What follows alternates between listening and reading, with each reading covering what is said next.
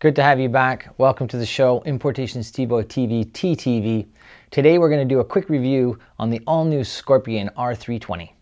The R320 is built for the touring market, everyday commuter and urban rider at a rock bottom price, yet without compromising too much on the quality of finish, features and benefits that Scorpion built their reputation on.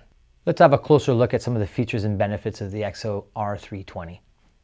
The 320's shell is produced out of polycarbonate. And as I mentioned earlier, it's quite light, weighing in somewhere in the regions of 1500 grams. There's no Snell approval. It's a DOT only helmet. The helmet offers controlled aero ventilation traps on both the forehead and on the chin bar, as well as an exhaust out of the rear of the helmet. The face shield on the 320 is Pinlock ready, therefore the Pinlock system needs to be purchased separately. The interior of the 320 is made of a wicking layer called KwikWick. It's completely removable and machine washable. The cheek pads offer a system called KwikFit.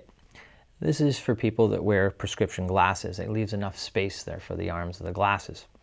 And another cool detail they offer are little pockets on the inside of the ear cups for communication system speakers.